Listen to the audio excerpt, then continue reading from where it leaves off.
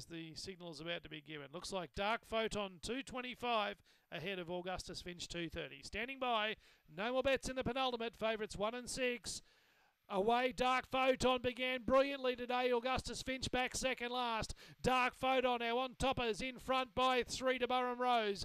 Dot Ball hanging on to third. Augustus Finch just got ran off there. Underneath Oz Franta, then Awesome Hope. Big Gambler almost famous, but turning for home. The good thing salutes Dark Photon. Three and three quarters on the line.